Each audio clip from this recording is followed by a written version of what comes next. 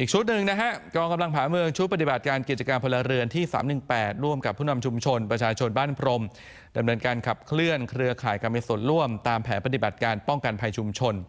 การป้องกันลักลอบทำลายทรัพยากรธรรมชาตินะครับ อันนี้ก็ไปช่วยสร้างฝายชะลอน้ำกระสอบดิน 4 ฝายนะครับ อันนี้จำเป็นนะฮะ